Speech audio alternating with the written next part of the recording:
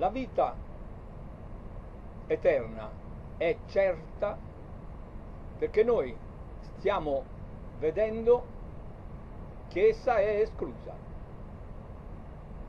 Ma bisogna tenere presente che noi stiamo vedendo l'azione uguale e contraria che è relativa all'azione vera.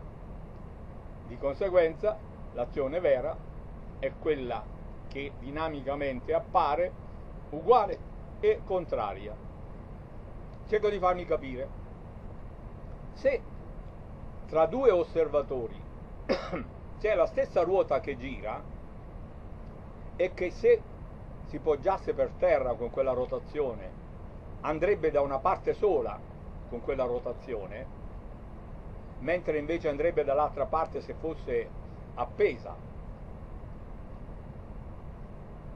Noi siamo nella condizione in cui, vedendo un orologio messo in mezzo a noi, mentre io ne vedo il moto orario delle lancette e praticamente dico vedo il tempo così come viaggia, chi è di fronte a me vede il moto antiorario e quindi nelle modalità di un tempo che va a ritroso. Però la ruota, se poggia per terra, non è che vada da due parti, va da una parte sola, perché c'è una parte che è quella che è in azione e c'è quell'altra che è relativa a quella che è in azione e che si vede in modo uguale contrario nella reazione. Noi stiamo vedendo la reazione, ossia nel modo uguale contrario alla vera azione.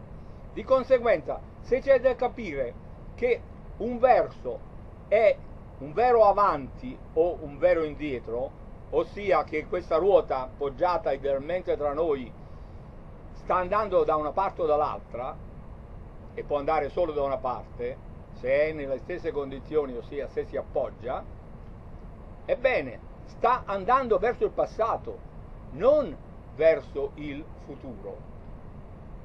Quindi, se il vero verso è quello della massa che si ammassa in un unico punto, massa magnetica per magnetismo, dell'antimateria che viaggia anche l'antimateria all'opposto della materia e di conseguenza si ammassa anch'essa. Se questa è la verità del moto centripeto costretto dalla gravitazione universale, ma noi vediamo la fuga delle galassie, stiamo vedendo nel modo esattamente uguale e contrario al vero.